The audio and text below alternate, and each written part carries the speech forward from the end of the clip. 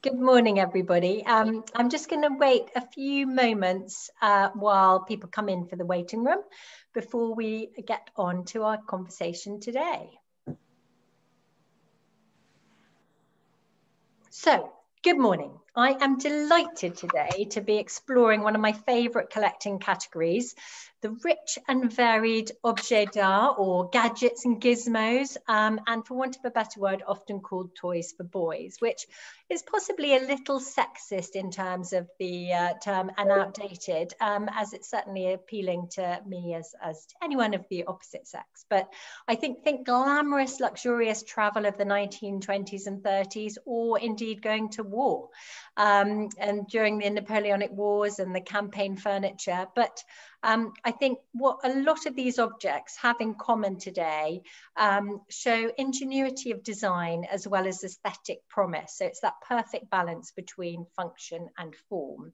And what is even more of a pleasure today is that it's the first Lapada Leader webinar that is actually totally populated by Lapada members. So um, that is a, a real joy. And each of these members are global leading specialists in their field, and they've each kind of developed quite interesting niche categories of collecting. So without further ado, we have Tim Bent from Bentley's, um, and uh, you will, I'm sure, be familiar with the antiques and vintage leather uh, and various other um, things that he proffers. We have Sean Clarke um, from Christopher Clarke Antiques, who it specializes in campaign furniture. And we also have Allan Hatchwell from Hatchwell Antiques, who sell a plethora of things, but you might particularly be familiar with their aeronautical, optical, and 20th century design. So um, I think one of the things that is very uh, interesting for me is that each of you represent quite a niche market. And um, I just wondered before we kind of got into looking at some of the objects that you sell and learning a bit more, um, how you actually develop that sort of specialist knowledge and what drew you to that area. So I'm going to start with the oldest collecting category first with Sean with the campaign furniture, and then we'll we'll move the conversation around. But um, how how did you get into this world, Sean, of, of campaign furniture? Well, I um, I started off. Uh, obviously, the family has um, had a business since the very early '60s, but I never worked for my father. I started off working for um, a specialist in sporting antiques, Manfred Schotten Antiques in Burford. And he offered me a job, and I said, Well, I really don't know if I want to be an antique dealer or not. Let's give each other a month and see how we get on. And because he was dealing in such different items to my family, and it was all involved in sports, I mean, he was basically the first dealer in sporting antiques. Uh, golf clubs, tennis rackets, uh, art on rugby it was a very different way of dealing. And this was before the internet, and we would be sending out lists of early tennis rackets to collectors or golf arts. And so when my brother and I took over our father's shop, he didn't deal in campaign furniture at all. We wanted to specialize in something. And because of what I'd learned at Manfred's. And it took us a few years to find campaign furniture. We'd always been interested in it. We didn't know if we could find enough out there, and we didn't know if there would be enough people interested in it. Um, a friend did a book on it, uh, British Campaign Furniture Elegance Under Canvas, Nick Brawer. We put a few items in the book. He asked for a few items of ours. The book sold incredibly well. We did an exhibition, and people just said, We've been waiting for a shop like you. Amazing. So we went for it. Amazing, thank you. Um, and actually, just before I go on, I what I omitted to say is that please do feel free to put any questions you want to put to our specialist today in the Q&A function at the bottom. And in the chat area, Gillian will put some links to um, the websites um, and to any reference materials and things we talk about in the chat field. Um, so, so Tim, to, to you, how did you how did you fall in love with Louis Vuitton and Goyard and all of these things? I, well, I started collecting when I was at school, and I soon started dealing in vintage clothes while I was at school. And that led from that sort of Savile Row tweed suited uh, English gentleman and that whole look that I did then quickly developed into the accessories that that 1920s gent would have carried with him And I found actually that's really what appealed to me. And uh, it, in the late 80s, you could access that market really quite easily. It was um, the prices were incredibly reasonable. So I just ended up with mountains of leather suitcases that I would merrily polish at home and then sort of sell to friends. And I got stopped in the street by an Italian carrying a pair of Gladstone bags. And um, he persuaded me to sell one of them. And I thought, oh, this is quite an interesting little niche. So that sort of is what sparked it. And it then developed into learning more and more about uh, the sort of luxury brands of that era. Vuitton, of mm. course, the most famous, but Asprey and Drew and Sons, there are an awful lot of English makers of that time as well. And that whole romance of travel from the sort of late 19th century through to the heyday in the 20s and 30s um, is what captured my imagination. And it sort of, the business grew from that. Amazing. It's, be, it's a wonderful, wonderful shop as well. It's a real pleasure to go into it. Um, Allan, let's go. While we're traveling, uh, you take those things apart. So talk to us about how you how you develop your kind of specialist eye and knowledge. Well, I, I, I my, my, father had started the business in 61 on, as a classic sort of European traveling dealer, being with Biedermeier and those sorts of things. And then uh, uh, about uh, 25 years ago, I, I sort of, I was a sort of, I actually went into a, into an aircraft uh, hangar and, and, and saw some things that were uh, quite exciting. And uh, well, I thought they could be exciting, and we and we thought, well, what can we do here? So um, we, our first sort of delving into aeronautical things and scientific things was actually a pair of uh, Concorde engines, and Concorde hadn't quite uh, stopped then, or was just around that time. So nothing, there wasn't a lot of, uh, uh, strangely, wasn't a lot of interest. And then, and that led on to scientific instruments, and then development. As you start this, the wonderful thing about the trade is that you, you it just, it just uh, grows. It's like this amazing tree that you start with one little thing, like so an aircraft part, and then you lead on to discovering how somebody actually developed the part of that engine. And I know it, it sounds very uh, niche, but actually you you start encountering these extraordinary people that are that are responsible for how the world runs. On and and it's you know as much a piece of technology and scientific instrument as it is as a, a beautiful bag or a beautiful you know this um, Sean is early technology and early 20th century luggage and it's an extra you know uh, that we and I went forward into that and that developed into scientific instruments as, such as binoculars and the naval instruments and pianos, and that's through the design side. So, uh, and I was very lucky to be involved with a family father who traveling was very easy and logistics were just not even a consideration. It was just like buy something, put it on a container and ship it. You know, it's it, and, and I think that has been part of the the ability to be able to grow in a in a in a rather strange way. You know, not be frightened of something that weighs half a ton or or, or is nine foot long, and that although it doesn't fit in every living room, it's it does uh, challenge the perspective as when when people encounter the shops. It becomes quite an interesting and enlightening environment yeah, your your shop is like an Aladdin's cave. I mean, it, it's, it is probably probably too much. Lots of, of things out of scale. It's extraordinary, and I I sort of yeah, your father might have found 2020 quite frustrating uh, in terms of travel and logistics. Um, I know we're going to have a look at um, some of the images of things you sell in a minute, but I'm quite interested to know um, how, in terms of developing the business, were there sort of outside trends and influences that actually help shape the direction of of and and actually how you kind of built the business? And i think i might start with you tim on that with in terms of the luggage and things. Were were there trends and things going on that helped promote your business? Yeah i, th- I think the ironic thing is that it took an american to really kickstart the appreciation of that sort of Edwardian look. And, and when Ralph Lauren decided that he would take tweed and make it fashionable and very fashionable, mm. and as his influence grew around the world, that really did sort of spark a, a complete sort of reevaluation, and maybe a generational reevaluation as well, where people had seen luggage and suitcases as heavy and impractical, and why on earth would anyone want to carry a leather suitcase or even have a leather suitcase in their house?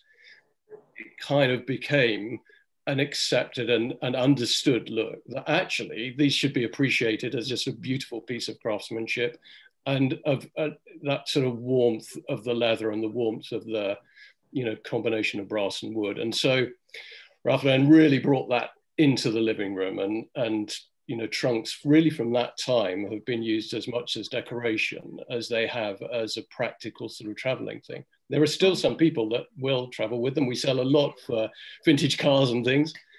Um, but you know the main market is still decoration. And then there's that sort of slightly rarefied collector as well who sees yeah. it as a, a collecting field I uh, this is this is a completely sort of by the by, but one of the first things I worked on was Christie's South Ken. We sold this teddy, Steiff teddy, for a mm. fortune, and I was actually sort of holding it as the bids went up, and uh, it was then traveled to Japan in a Louis Vuitton case that was made just for Teddy Girl and her outfits. And she had her own seat on the plane in her Louis Vuitton trunk uh, to go there. But anyway, that's another. Um, for, for you, Sean, it was a, a book and a, and a sort of a, a, dipping your toe and then it taking off. But were there sort of outside influences and, and people interested in? Um... Well, we, we decided fairly early on through the outside influence, I mean, they probably don't even realize, of Witney Antiques, who, of course, specialized in samplers, still do. Yeah. And we saw the way that they put together these very smart catalogs full of information that were a fantastic selling tool. And also, they there was so little written on samplers, one or two books perhaps, but they really added to uh, the academic knowledge of the world of samplers. So we decided right from the beginning that we would make our catalogs a big thing um, and really try and save and add as much information as we can about campaign furniture and its makers and also its users. And a, a big part of our business is research um, and uh, hoarding this information. I mean, our, our archive, probably like uh, Tim and Allan, is, is huge. Mm. Um, so they were a very strong influence, uh, Witney Antiques, to uh, as a business model. Mm. Um, but I don't think there's anybody else really who's specialized in campaign furniture. Still, there's dealers who like it and have two or three pieces. But I think probably because we did our catalogs from fairly early on, people just looked at us and thought, well, they're fairly well set up. Um, we're, we're never going to catch them up. Do you think that, but that's the sort of, this is a dreaded, dreaded word, and forgive me, but just thinking about the ingenuity and the skill and the craftsmanship about creating something that's portable and flat pack. I mean, the, the sort of advent of the IKEA monster did that just allow anyone to just really understand the real skill and craftsmanship of a few hundred years um, before in well, terms of that? Yeah, I mean, funnily enough, um, the name IKEA does get mentioned in the shop quite an awful lot by customers, but they always follow it up with, but of course the quality of this is a thousand times better. And yeah. obviously with IKEA, it's meant to be um, set up once you can work out the instructions eventually. And, and, then, and all the pieces are included because they may not be. and then never dismantled again. Whereas with campaign furniture, uh, you set it up, you take it down again, you move camp, and on you go. And so the uh, necessity is the mother of invention, of course, and some fantastic design has come out of having to make something to be portable, to dismantle, and the different ways to do it. And of course, originally uh, in the 18th century and with the Georgian furniture, it was very much keeping the look of the domestic furniture. But if you looked underneath it, you'd find hidden hinges or bolts and it would dismantle. And then through the 19th century, it developed its own look, the classic look that we we know now of a campaign chest with brass corners and brass straps.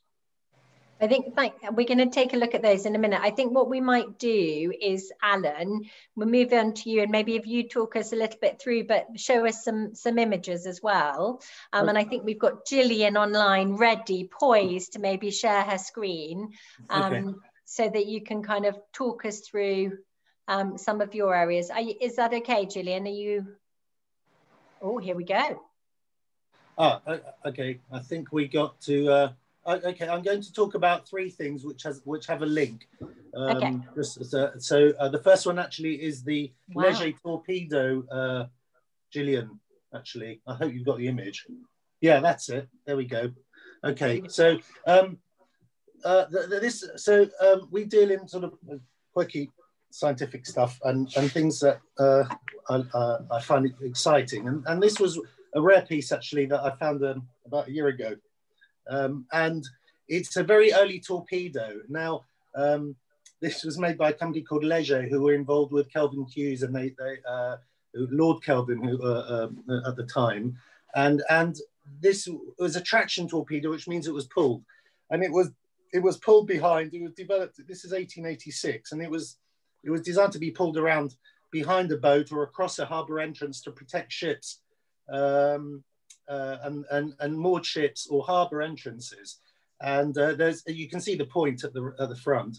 Uh, that has a, that is actually a charge and it's set off uh, when it, it, it, it, impacts on something. But um, it was quite, it, it, actually didn't go into a lot of, uh, a lot of um, development because uh, they, they were very scared that actually might just run into their own ship and blow their own ships up. So there was, it was, it was very hairy days, but the, the that uh, the, the, the, torpedo is an, extraordinary object because it, it transformed what was to come and transformed uh, uh, armies. And then this leads me on. This was an, a pulled object. Now the second piece is a gyroscope, a torpedo gyroscope. Yeah, uh, and I've actually got one here, which is a bit later. But the, the, the, the gyroscope was a guidance system, and it was first.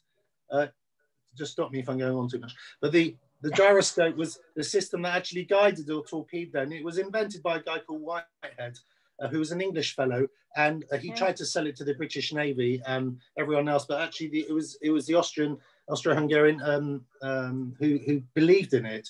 And this little piece here, which is that's called an Obry system, and it spins around. I, I can show you this. Basically, you can see it on my screen. I think. That, we might have uh, to. We might have to go not share go. the screen so we okay. can see you again, oh, and then we'll be able to see it this better. that, that's what it is. It's a, it's something that spins, and I don't know if you're a with the gyroscopic wow. effect, but as soon as you have something that spins, it means it's difficult to move, and you can reverse that movement into guiding a torpedo straight and, and going straight and, and at a certain depth. So it's a monumental little bit of engineering that transformed world history because until that time, the, the way you imposed your power was uh, with a very large battleship which had very large guns and lots of them. So then you could just go around the world and, and that's the history of the empires and how they grew. Uh, suddenly with this little piece here, which was really a, a tiny, uh, a very low cost, you could attach it to a, a torpedo and, it, and, and you could, you could um, with a small fast boat, you could, you could endanger very large fleets. So that completely changed the naval naval ba- exactly a naval balance in the world. Um, and then so my my. We're allowed to ask prices for some of these things. Yeah, you can ask whatever you like. Yeah, uh, it's fine. Yeah, yeah. The, the, big torpedo, the torpedo. I mean, it's there's only one or two in the world, and that's around twenty thousand. The gyroscopes okay. are at three thousand, um, and uh, they're quite rare. This the one I've shown you is actually a very a very uh, it's quite a modern one, but it's extreme. They're all they're gas powered. They're uh, compressed. And we just had a question come in because it's yeah. not worth waiting till the end, asking how big the torpedo is. What are the dimensions? It's one meter, one meter fifty six long. It is. Okay, thank you. And they're, they're very detailed images of it on the website. okay, carry on. Sorry. and, and then finally, I won't keep him long. Finally, there's a photograph of a pair of binoculars, which Tim, of course, is uh, very au fait with. And these are I'm linking I'm linking it because they're always they're Japanese and they're made by Nikko, who are the, they're now known as Nikon. And, and they're Second World War binoculars. They're, they're substantial. They're about um, uh, 36 inches long. Uh, and and they, the optics are all German because they, they were buying optics from Zeiss and, and Schott and all that those sort of people in Germany. And they were they're described as nighttime torpedo binoculars. So they, they were made for the Imperial Japanese Navy, and they magnify ten times. So there, there's a link. So the Japanese didn't weren't really they were very um, they felt that they uh, quite superior and they weren't developing radar and and such so much. So they they concentrated on their optics, and these are a fabulous pair of binoculars which have sensational quality, uh, which uh, viewing quality because it's all about the glass. Mm. So uh, I, I want to give you a little link of how things develop, you know, and suddenly you're, you so you go from the torpedo to actually worrying about the guiding the torpedo and then and then watching the torpedo.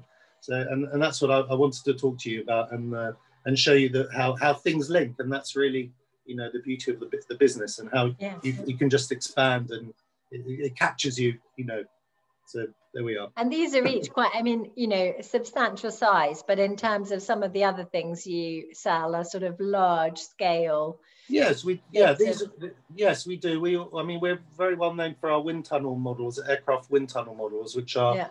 all the models developed for airplanes to fly, and now actually we're, we're trying to get into sea uh, ship models, but they're they're really big. They're like 15, 16, and they're not many of them for obvious reasons. But it's it's surprising how long the the, the, the tanks, the, the, the ship models have been going. Because yeah. they're very, uh, they've been actually, the, the, the one up in Scotland, or there was one in Scotland, and they were testing models in water uh, in, in the beginning of the 19, uh, beginning of the 20th century. There, it was quite, it's quite advanced flow tank models designed to measure flow. Amazing. And so you know that that's that i mean I, I must say that i think when you asked how how the how the business develops i mean i people like sean and tim uh, and and to a degree us you know we've mm. actually we we've we've set i actually feel now i mean uh, i dare say that we've actually set trends and uh, mm. the campaign furniture and, and the luggage you know there aren't so many people that have done it but by by promoting the uh, online and shows, you know, suddenly it's captured people. And I I think very much a lot of the big dealers and the dealers around that are they they do set trends and it and it flows. I mean, we see it a lot actually. So. Yeah, um, you, it's generated by the dealers as, as much as, as by society, really. Yeah, I mean, I think you've you've each of you have sort of spearheaded these these movements and and are the leaders. Um, do, do you find, Allan, in terms of how do you source these objects now? Do people come to you if they've got something like this to sell because they know who you are? Or are you busy trying to go into various hangars and warehouses well, across the world to source we, some of these things? Yeah, we, we have a lot of people that offer offer things, but um, uh, uh, that, you know it's it's harder to find now than it was, and and also the, the, the internet makes is a double-edged sword. I mean, it's fantastic for sourcing, for, uh, for education, mm. and for research. It also uh, it also takes away that the energy that you put into doing all that work, and and shows people exactly what you know from they can go from one thing to another straight away from from source to, to retail basically. So uh, overall, the, the web is sensational and a positive plus mm. for, for everything really. But it, um, it, it, we, uh, you know, we, we get offered, we're known for it, and we travel everywhere. I mean, it's worldwide now. We can find things it, everywhere. It, yes, thankfully, our virtual existence, thankfully. Yeah. So, Tim, on to, I know you have an amazing um, archive. Um, yeah. And I think that is quite interesting in terms of again each of you sort of leading being leaders in your field that presumably you're you're a resource. I mean if I was going to ask where somebody should learn about this discipline it's probably going back to each of you. Yeah. Um, I, I, maybe talk to us a little bit about that and then and then go through to show us because I know you put together some wonderful images so that we get to sort of have a look at some of the items you sell. Yeah.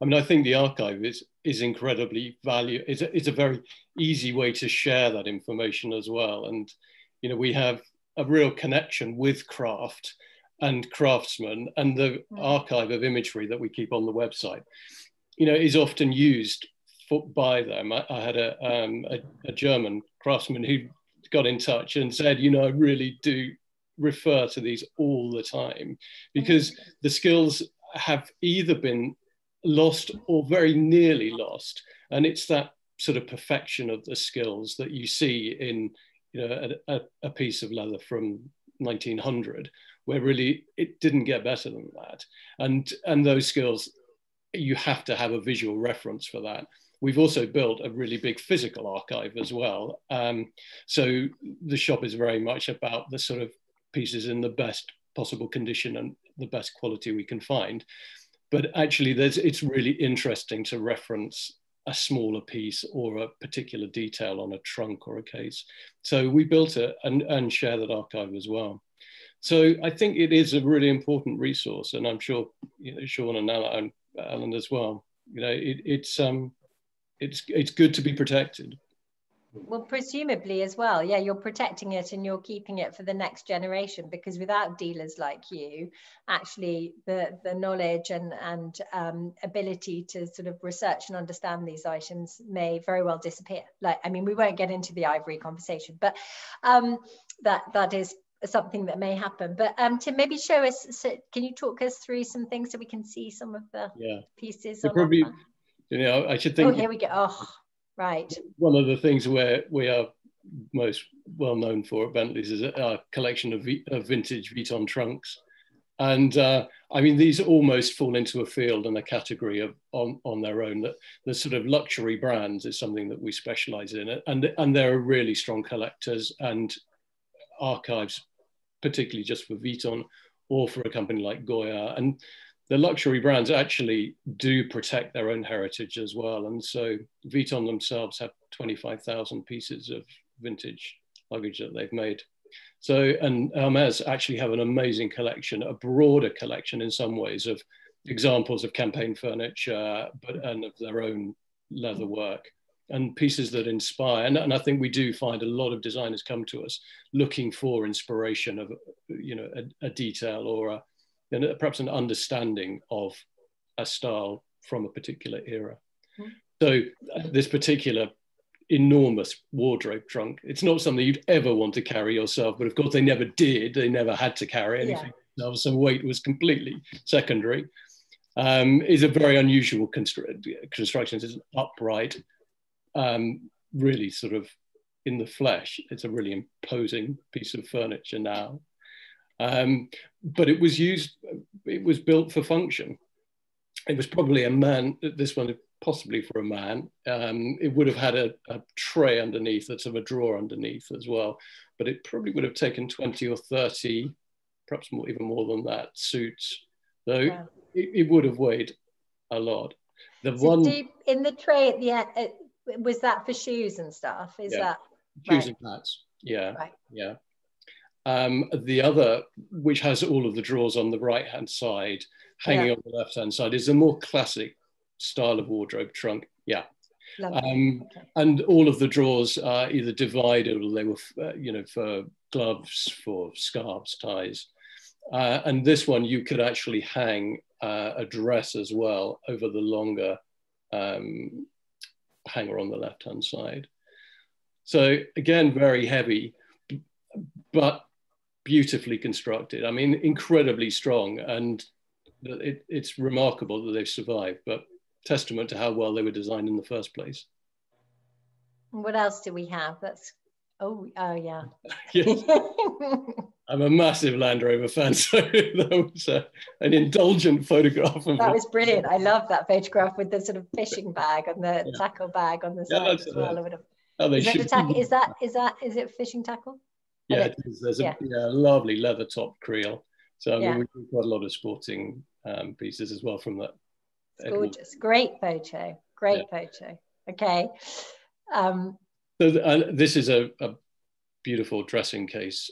I, I, just think this is so evocative an era that it, mm. to think that you w- would travel like this, it's actually it's it's quite similar to the to the way that campaign furniture was used. It was that expectation that you would need an entire tortoiseshell dressing set, crystal bottles, silver mounted, you know, wherever you went. I mean, it, I love it.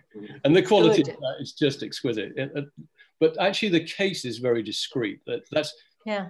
really my favorite Vuitton is that leather, the best quality leather, very understated, but if you know where to look, you'll see their branding. Every single stud is branded.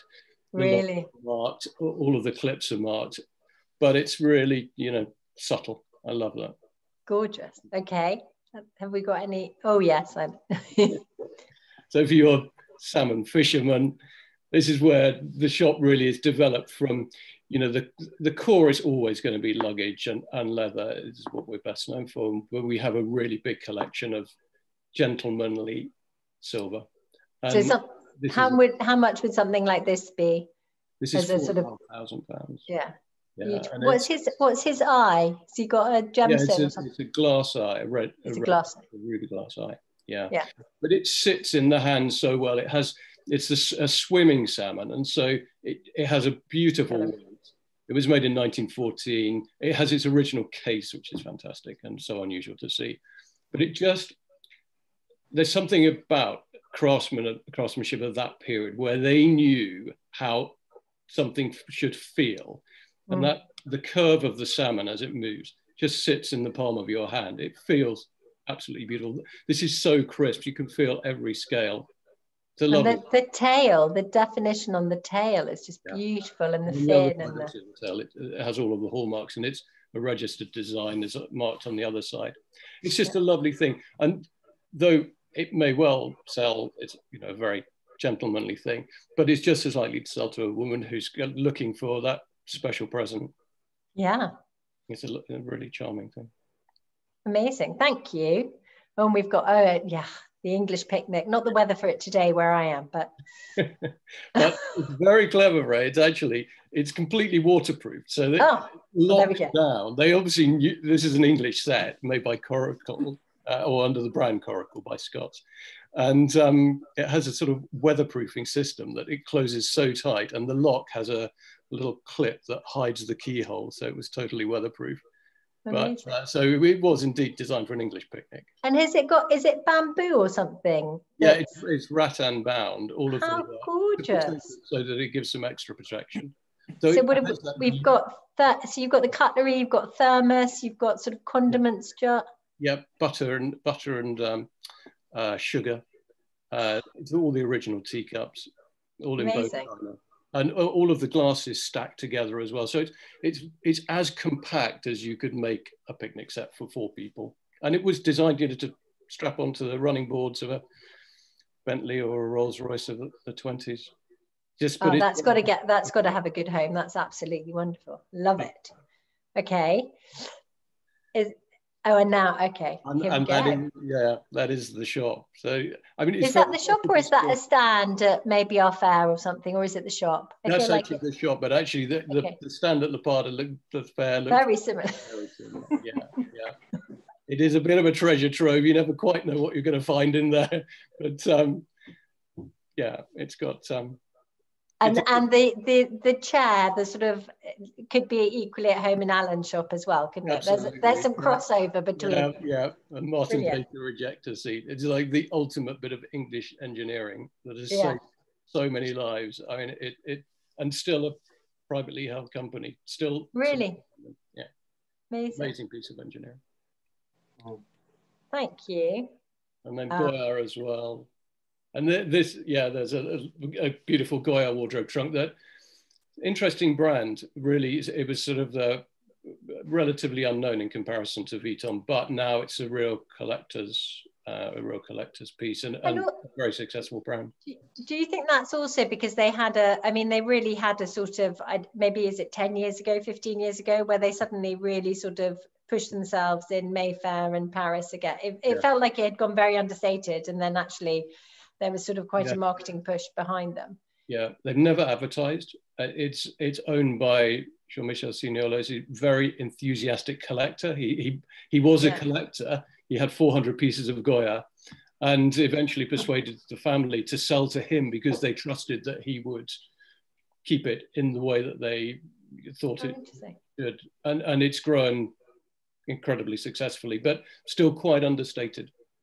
Um, Amazing, thank you. Well, I think we might move on to Sean because I'm sort of aware that time is marching on and uh, we've got lots of other things to talk about. And I really, I mean, I know you've got some pictures to show us, but I'd love you to tell us a little bit about some of the uh, helmets behind you as well that are launching today because it's quite nice if you've got something that you can actually handle and show us. Yeah, I mean, these are a little bit unusual for us to buy. We normally just deal in, in English um, campaign and travel items, and these are French Grand Army Napoleonic miniature helmets. But sometimes you see something and the quality of it and the beauty of it as a dealer and hopefully as a customer, you just think, God, I've got to have that. That's fantastic. and we've got a collection, you can maybe see them behind me, um, of 24 of these. And they're made around about 1900, either side of 1900, by a Frenchman called Charles Sandre. Basically for people to collect, but they are made uh, with the same attention to detail and the same quality of materials as the original Shakos. So, you know, they're lined in red silk. I mean, just the work into this plume, just fantastic. Is it? Um, and there's a, a Hussards Busby here as well. Oh, they're just okay. wonderful. And yes, they're being seen on the first time at one o'clock today on Lapada Firsts. So thank that's, thank that'll be their first opportunity uh, coming up for sale.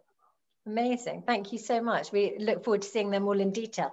Um, take, I know we've sort of talked about maybe a, a chest being the sort of the starting point of um, collecting uh, campaign furniture. Do you want? I know you've got some images as well, and perhaps you. There's one thing I would love. I love that the the table. But anyway, if Gillian shares the screen, and you could maybe give okay. through some of your key objects, and then we can.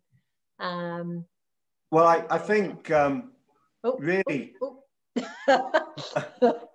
okay. Well, and this is something I've actually got here ah, as okay. well. So uh, it would probably be better if we got rid of that photograph, Julian, if we could. Well, let's talk about this. Um, yeah.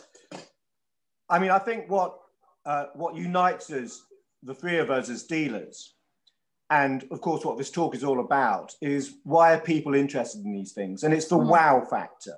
It's the wow factor either because the design is fantastic and it does something um, very clever, which we'll come on to later, or it's the history behind it. And this trunk, Captain Blackwood's Waterloo trunk, as we called it, was just the perfect storm for us as a piece of research. It was actually the People's Choice for the Lapada Object of the Year in 2012. And what we found out about this trunk was made by Thomas Hanford, who uh, had a business on the Strand. He kept on moving between shops on the Strand. And in January 1815, he moved to number seven Strand, which is the address on the label of this trunk. But the owner engraved to the top is Captain Blackwood's 69th Regiment. And after Napoleon was sent off to Elba, uh, Blackwood's um, original regiment was disbanded. And then when Napoleon came back, he re-enlisted and joined the 69th Regiment. So he had to have bought this trunk after January 1815, when Hanford moved addresses, and as he joined the 69th Regiment. And he would have bought it to take to France to go and fight Napoleon. And the reason that we know that he had to have bought it in that period is because sadly he, uh, he died at Waterloo and he's buried at the orchard at Hougoumont. So from a research point of view, and a historical point of view, it's just wow. This item was probably at Waterloo. And you tell somebody that when they come into the shop about a piece, and you can see their eyes light up. It's mm. just you're immediately there, and it's not just a antique and what am I going to do with it? It's my goodness, what a piece of history. So that's that's great as far as we're concerned from research. And a lot of our items, you know, we manage to, if they've got a, an owner's name, we can go through the army lists and all the rest of it, do our research and find out when they bought it, depending on his rank on the uh, piece and where he might have been, where this piece might have traveled and its history comes alive. But the other wow factor, um, and of course this relates to Allan's stock, and Tim stock is the the clever design, the ingenuity of design. And perhaps, Gillian, if you could move on to the Thornhill briefcase table. I love this. This is another thing. Um, and hopefully you can imagine that uh, when those straps are removed from the table as a briefcase and it's lied down on its side, basically you undo a couple of clips. You've got some finger holes. That, uh, you put your fingers in, you just lift it up and the legs stand on its hinges and then you put down the angled bracing bars, lock those, and all of a sudden you've got a table which has come out of nothing. Um, and the ingenuity of design is just fantastic. This one was made by Thornhill, who were high-end retailers on New Bond Street. The design's also commonly as associated with uh, Albert Barker, who was another high-end retailer, and he started off in partnership with Thornhill um, between 1875 and 1885. But then also Tim was probably had a few of these. They also made a version which turned into a picnic basket. So instead of a card table at the top, there was actually a wicker basket at the top, at the top, which was full of all the items you'd need for a good picnic, and it would fold out. And uh, G.W. Scott and Sons are, are known for making those. But just a fantastic piece of design, really. Do you, when you they, get they when when you receive something like that, do you immediately know how it works because you've been doing this so long, or or are there some where you're slightly dumbfounded before you can find the hidden catches or where you put your fingers or how? To... Well, there are some pieces, yeah, and certainly with with secret drawers, yeah, um, and your your brain gets tuned in when you deal in a certain field to look for certain things. So we've bought campaign furniture off uh, other people before and they never realized it was made to dismantle. But because your brain is locked in, your eyes locked in, you realize there's something just slightly off with the design and then you wonder why. And with secret drawers as well, you pull out a little drawer of a secretaire and you think, well, that's way too short for the space of a box. Uh, something must be going on behind. And you investigate. Um, and occasionally you might find a medal or something exciting in there. I remember Butcher found somebody's jawbone in a secret drawer of something, which was kind of interesting. What what else have we got? Have we? Well, um, if any... we. Oh yeah. Well, these are Brighton buns. If we come off the screen, Gillian, then I can um, actually show people. Now, Brighton buns are again just a classic piece of design. So much so that they were made for probably over 150 years started off in the 18th century with very smart silver sets. And in the 19th century, uh, you get a lot of brass ones. These are cast brass. And basically, they're two candlesticks. So we unscrew the top, and you've got two dishes, and then you've got the two sconces, and you screw it in like that. And you've got a candlestick. Um, just fantastic design and very compact. It makes its own packing case for travel. Yeah. And they made these in lots of different materials over a long period of time. So this set are pressed brass. Um, they're closer to 1900 in date.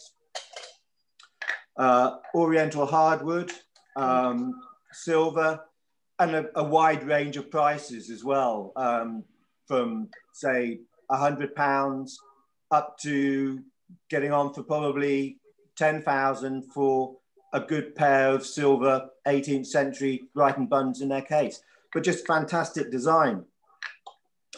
Um, and Gillian showed earlier on the screen. Um, oh, it's this, tiny. But uh, you wouldn't have seen it like this. This is a candlestick. Yeah. And, and, and just the ingenuity of design. So if we unfold it like that, we've got a pricket, and then we can remove the wow. drip pan oh. on that. And then you've got three legs which fold Amazing. out like that and it'll stand. And then you can and write your little journal of the day of what happened exactly, at Waterloo. Exactly. Um, and I'm just really clever, clever design. Yeah. Um, do they i know i mean a lot of it is obviously very practical things but do do they do you have sort of gaming tables and things like that Hello? as well that sorry do you have um, gaming tables and and things like that as well that people Finally, you should say that fair but uh, of course you didn't have tv in those days so you had to do something in your downtime um, yeah. so a roll-up chessboard amazing very useful. But, and that's uh, late 19th century, but going a little bit earlier in date, um, we've got a chess box here, but in it, we have got the means to turn it into a table. So you've got tripod legs. Wow. You've got a column which screws to it will then extend. and then the top will sit on it like that. And all of a sudden, you've got a chess table. Ready for a game. Amazing. Ready for a game. That's gorgeous. Uh, fantastic design. So how I, am just sort of conscious of time, but in for all of you, and maybe I'll, I'll start with with you, Allan. In terms of the the disciplines that you cover, do the do, do we just have to sort of sit back and appreciate these items, or can we use some of them?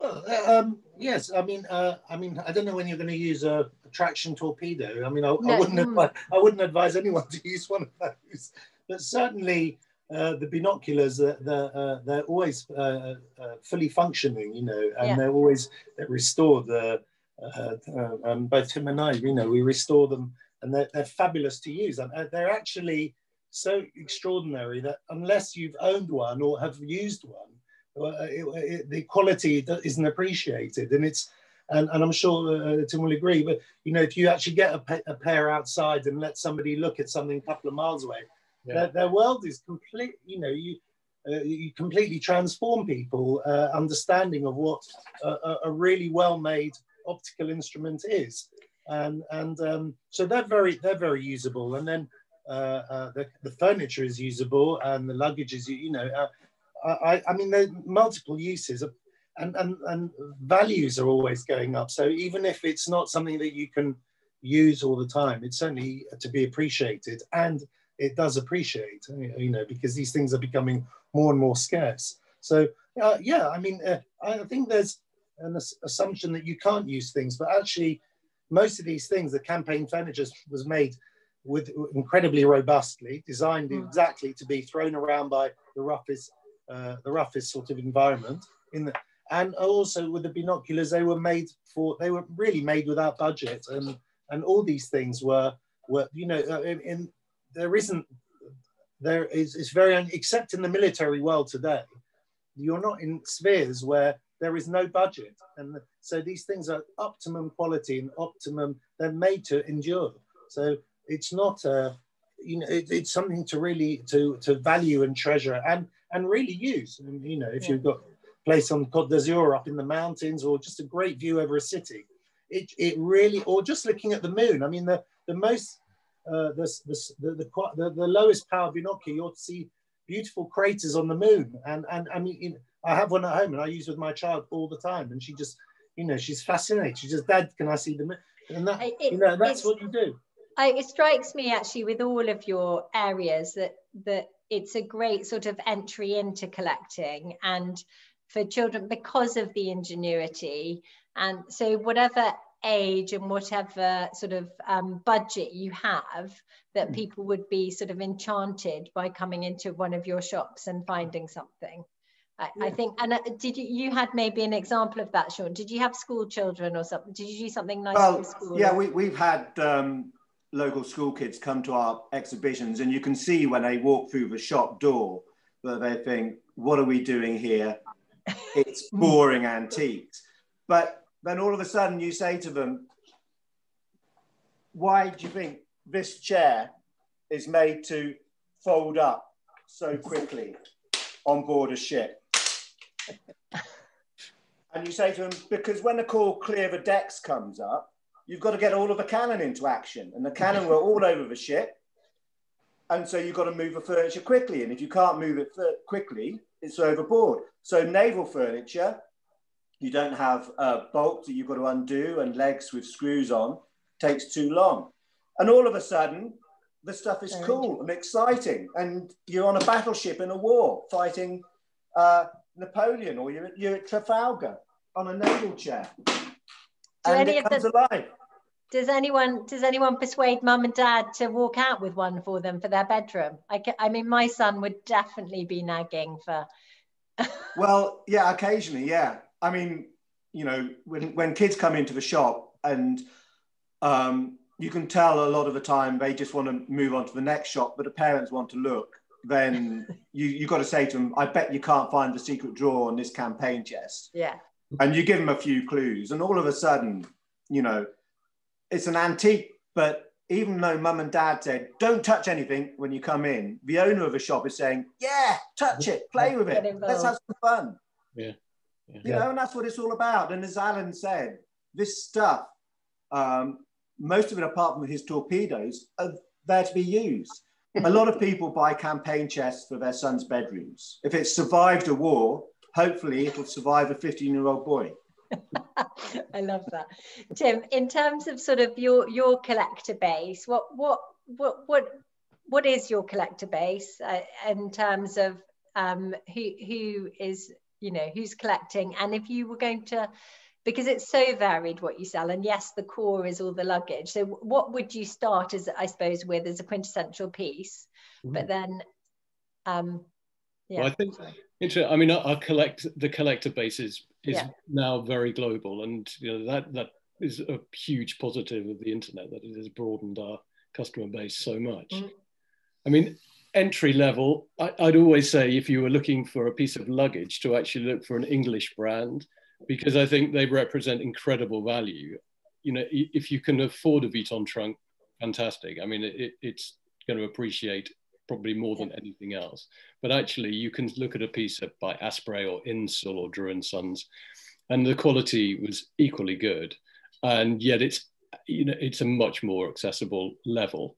But I mean, then it sort of broadens out into you, there are so many different fields. You can go into sporting, you can go into you know, cigar, barware, but I'm, I, we're saying about people using things. I, I, think there's nothing better. Everything should be used. You know, yeah. you shouldn't be afraid to take your wardrobe trunk with you, and you know, it's a good excuse. To. You talked at the beginning. You talked about polishing. Is that you just use ordinary sort of shoe polish? Do you on the? I, I mean, obviously you go not for your very expensive Louis Vuitton. You might ask someone to help you, but I mean, yeah. presumably these pieces, if you handle them and touch them, that maybe does them good in a way. Absolutely, sometimes. with leather, it absolutely does. Yeah, you, yeah.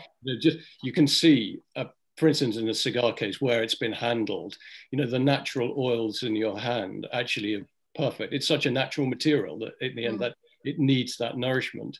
So I think it's always you need to be careful with polishing because it is actually you know with leather particularly it's easy to spoil it but be cautious but treat it like your favorite pair of shoes. Yeah, and in terms of, I mean, one of the other things that strikes me, and we've we've talked about it a little bit, but is this sort of the craftsmanship, hmm. and uh, um, I just wonder. I think have you been involved with London Craft Week at all? I mean, has yeah, it? Yeah. Has yeah. it helped in terms of Hmm. people appreciating and understanding. Um, because you actually your reference to Asprey, my first job, my Saturday hmm. job was in Asprey leather department, and I remember my favourite was going to the workshops up yeah. above, which have most, most of them have gone. But sadly, yeah, yeah. But actually, that is that is emblematic of how those businesses grew. You know, they they yeah. valued their craftsmen and they you know celebrated them and had them in the shop. And I think it's a great shame now that a lot of mm. businesses have sort of relegated them really to a, to a factory elsewhere, whereas they were completely you know, incorporated into the business. I mean, I think London Craft Week has been an incredible um, spark for broadening people's appreciation of craftsmanship. And we do see it and people people just look at things with more understanding now. And i think the more you learn about how things are made you the, the better you appreciate them. And and craft week has done great things and yeah. And, I'm Good. loving. I'm I'm getting distracted by the gyroscope, just kind of. you know, it's lovely. I love it. It's great. It's reminding me. It. Yeah, it's, it's it is actually. Uh, it's indicative of.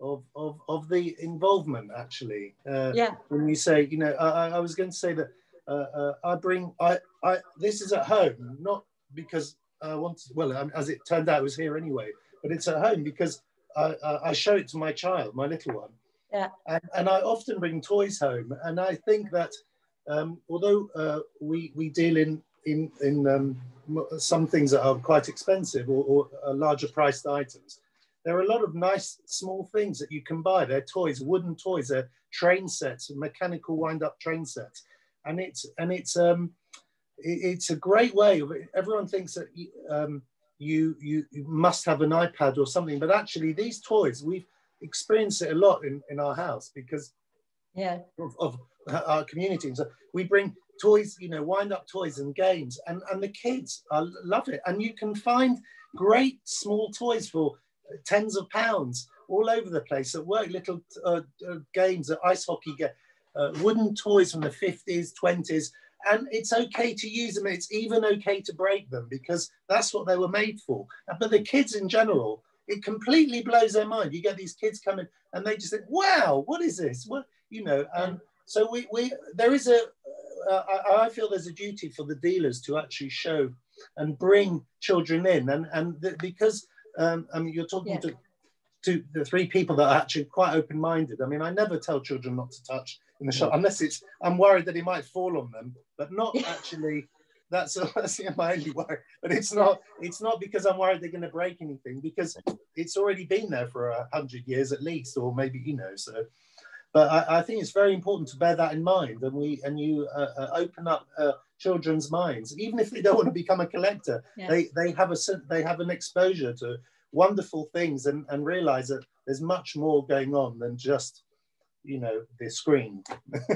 Yeah no i think I, think you're so right and i think um it's something that dealers are getting i mean you, you you're right you're a different breed but i think people are getting more comfortable with it. And it's something that the auction houses i think did very well early on yes. in that when i was studying for my a levels i just used to go to them and there you were allowed to touch everything and look at everything in a preview whether it was kind of even van gogh you know uh, you could get someone to to let you have a look at it and having that access that normally is either behind a door with a bell on it or in a museum. And i think yeah yeah, you're very generous. I've watched you with my own son, kind of. Um, well, well I was going to say, I think your son sat on an ejection seat once. yes. Yeah, yes. and yeah. looked through the binoculars and probably stuck his fingers all over the glass lens. But anyway, um, nothing's going to happen we, to them. we are running out of time, and I just wondered, um, Gillian, did you did you have any additional questions you wanted to ask before I sort of did a thank you?